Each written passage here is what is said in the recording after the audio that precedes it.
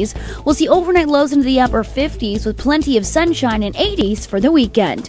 From the KIRO 7 Pinpoint Weather Center, meteorologist Claire Anderson. It is 72 degrees in downtown Seattle. I'm Ursula Reutin. Listen on your smart speakers, Amazon, Google Home, and Apple HomePod. KIRO Radio 97.3 FM. News and talk, powered by the Pacific Northwest. The Big Lead is brought to you by 3010 Weight Loss for Life. The Dori Monson Show on KIRO Radio. This is The Big Lead. Coming to you from Car- Carter Subaru studio. Welcome. We're also streaming on Facebook Live this half hour. Welcome to the big show. We've got, oh my goodness, once again, what we do for you. It's just mind blowing. Uh, coming up at 1.30 this afternoon, we're going to share with you, we're going to talk to a farmer in Ritzville, Washington. And when you hear about how this community has come together for this farmer who's battling cancer, it is as uplifting a story as you will ever hear. And then coming up just uh, less than 20 minutes, or about 25 minutes from now, I should say, we've played for you some cuts from these two guys who call themselves the Party Bros. They go to city council meetings and, like, for example, when they wanted to rename a water treatment center after Britney Spears. What up, Council? My name is Chad Kroger. First off, I love your city of Manhattan Beach. You have great bros. Council, what does it mean to be American? I used to think it meant eating fudgesicles and being tan. And in a lot of ways, I still do. But I think it also means fighting for the ones you love, which is why I'm here to fight for my first and greatest love, Britney Spears. She's going through pretty serious ennui right now, but she's helped me through major bummer.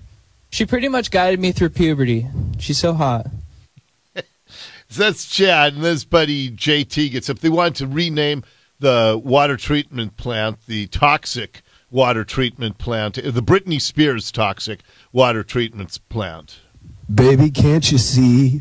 I'm calling. A guy like you should wear a warning. Hey, and then they sang the song for the city council.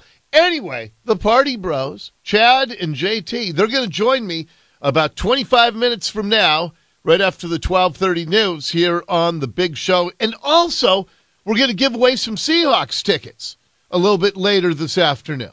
So we have you covered, but with all that as mere prelude, let's get to the big lead. The Big Lead. Top story.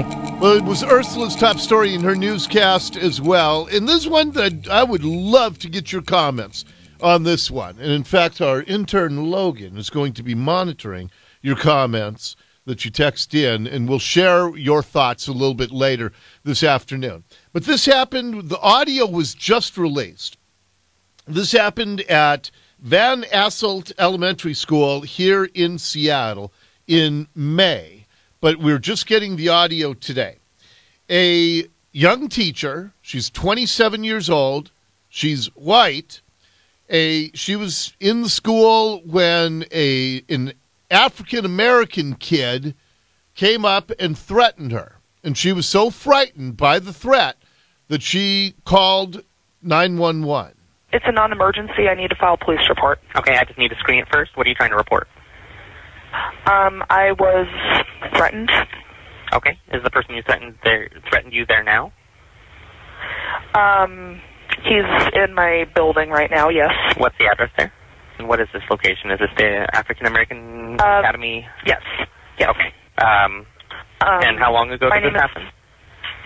Um, this happened about two hours ago. About the suspect who who threatened you? Um, his name. Um, it's my name is. My name is. I'm a teacher at Van Asselt Elementary. Um, in my classroom, I had a student who is age 11 hmm threat say that he didn't care if I was a woman that he was going to beat my beat out of me, Okay. and he made an advance on me like he was planning to do that. Did he have any weapons or anything? No, he did not have a weapon. Where is he now? He is in our school office at the moment. Okay, I'm going to pause it for a moment. I want you to hear more of this as well. So Uh, he came up, said he's going to beat the bleeping bleep out of her, advanced on her, and she was so frightened that she did indeed call the police. And so the kid's still in the school. And the question I'm going to ask you is do you think that this was an appropriate 911 call? Or do you think, I mean, there are a bunch of questions that I have.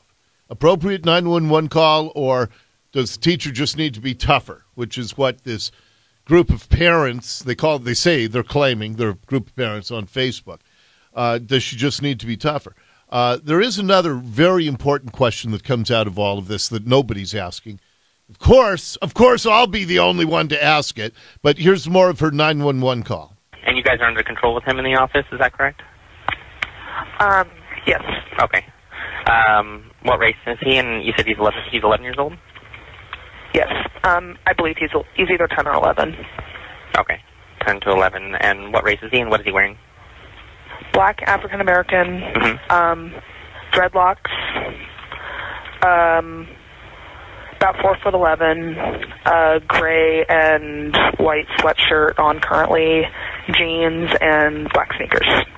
Is he high or intoxicated today?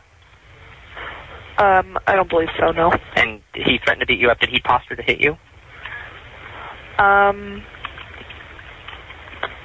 not real. I mean, kind of like.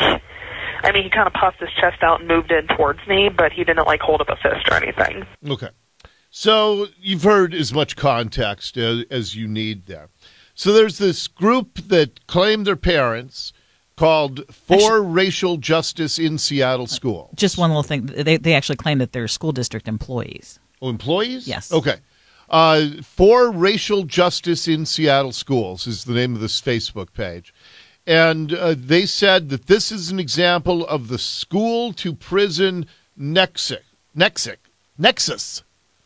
Uh, they said that uh, they're the ones who posted this audio because they said this is about a teacher who wielded her white fragility and racial bias like a weapon with no accountability.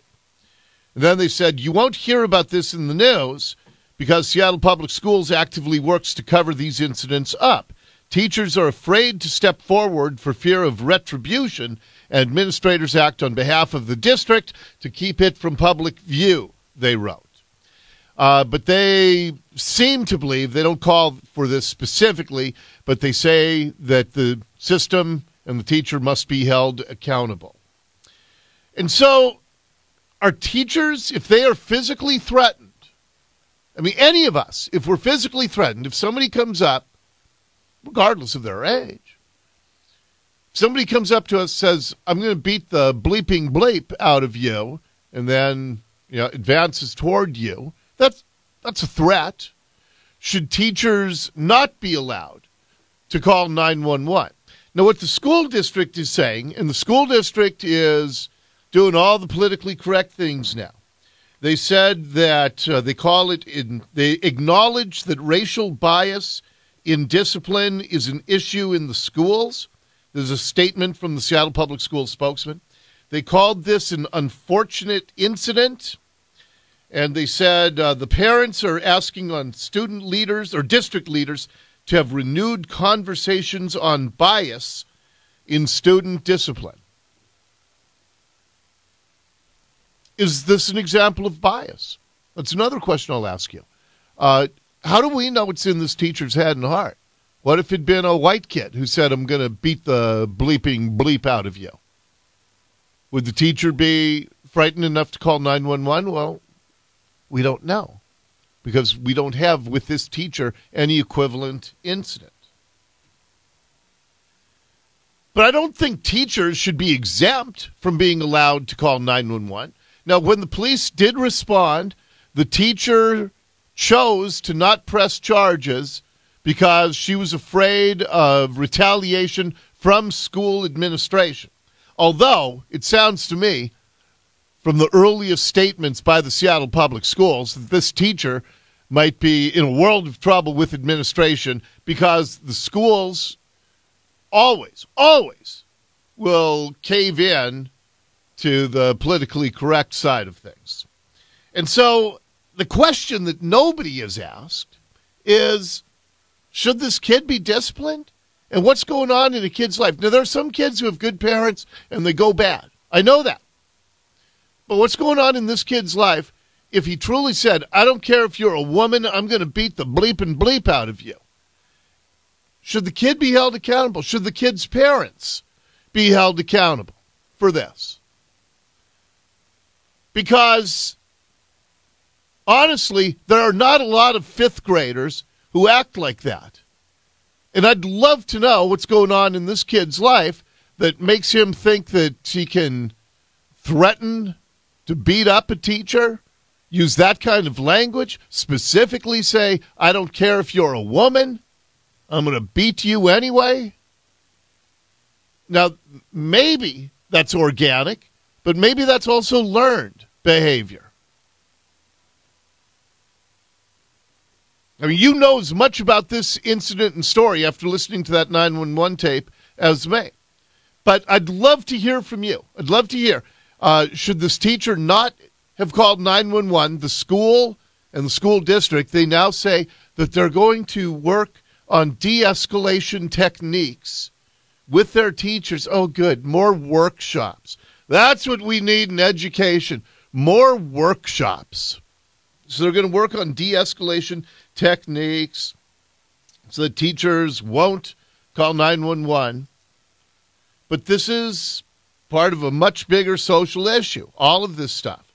And our schools, and Seattle schools, have lots of educational problems. But one reason for the educational problems is, uh, and this isn't just the Seattle schools, in every school district. Sadly, there are a lot of kids who are not there to learn, but they're there to disrupt. And so I'd love to hear your thoughts and from any angle that we've discussed here. You can text us at 98973. That's 98973. Should this teacher not have called 911? Do you think this is an example of racial bias since the teacher's white and the fifth grader's black? Does size matter? It's being a big deal's being made that the kid's about four foot eleven. I don't know how tall and big the teacher is. I have no idea. But some people are claiming that that is a factor. That because the kid's not even five feet tall, the teacher should not have called the cops. So let me know what you think. Text us at 98973. That's 98973. Next up in the big lead. The big lead. I sense a Dori rant coming on. And then a story that was just breaking as I was getting off the air yesterday.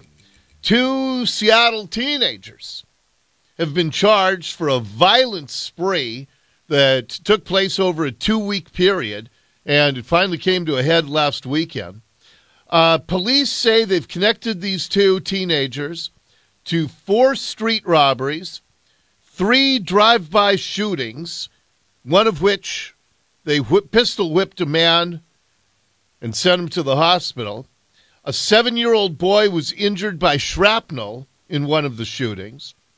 The two boys were finally arrested around 3 a.m. Saturday after leading police and troopers on a high speed chase and crashing on the West Seattle Bridge. Uh, the two boys are 14 and 16 years old. A 14 year old girl was also a passenger in the stolen vehicle. But the crimes these kids, according to the court documents, are believed to have committed over the couple week period. The 16 year old's been charged with a single count of drive by shooting. The 14 year old drive has been charged with a drive by shooting, attempting to elude a police vehicle, hit and run on an occupied vehicle, second degree unlawful possession of a firearm. 14 years old. And all of those crimes. Q13 News, they talked to a social worker about these two children. I'm speechless. Like, I, I, yeah. How are we sort of allocating our resources in the community? Where are we putting them? Where are we neglecting them? Where are the gaps? How can we better fund our schools? How can we better fund our programs? How can we better fund our social services? I think it takes diligence and it takes this consistent effort. What we're doing ain't working. And what she's talking about is what we're doing. Kids know that they are not going to be punished. We've I mean Dow Constantine, you know, the guy who uses King County Sheriff's personnel as his personal Uber so he can go out drinking and womanizing. Yeah, that Dow Constantine. Uh, Dow Constantine, he is part of this. No youth should be put in jail. And we've we've heard from this movement in King County. No youth jail. What if they rape somebody? No youth jail. What if a 14 year old kills somebody? No youth jail. That's the movement. Children should never be put in jail. So what happens? Well, kids know that they can. I mean, wait till you hear what that 14 year old in the, this crime spree is doing today. He's at home. At least we hope he's at home. They put uh, an ankle bracelet on him and released him to his house. Who thinks that makes sense? If you grow up in a house where you are then capable at age 14 of committing a drive by shooting, hit and run on a police vehicle, hit and run on an occupied vehicle, unlawful possession of a gun. So, this 14 year old who grew up in a house where he was able to be, uh, get a gun and do drive by shootings, and, and our solution after they catch him is, yeah, go back home. Of course, this is not the right path. But kids know especially with the no youth jail movement in King County. They know that they can commit the most heinous of crimes and still be walking around. The 16 year old who also was charged a year ago for a carjacking. On July 10th, he was arrested on suspicion of assaulting a store clerk, was back out on the streets. Five days later, the 16 year old and two other men, or males, boys, we don't know, they robbed a man of his cell phone at gunpoint. So with the 16 year old, you got a carjacking, an assault. These are arrests, not convictions. Carjacking, assault, robbing a man at gunpoint. And we keep putting him back out on the streets. And then he's involved in this wild spree of drive by shootings and assaults. This is what I've been talking about. As long as we have absolute insane people as King County executive and on our county and city councils and in our prosecutor's office, and they say it's okay to let somebody rob somebody at gunpoint right back out on the streets, we better not fake that we're shocked when they engage in a two week crime spree of carjackings and drive by shootings. I'm telling you right now leadership, lack of leadership in this region, they are insane. And that is your big lead for today. The Big Lead on KIRO Radio. Ursula's going to check the news. I'm checking all your text messages here. We'd love to hear you on both stories. 98973 is the text number. 98973. The Party Bros. They're going to join me coming up next here on the Dori Monson Show.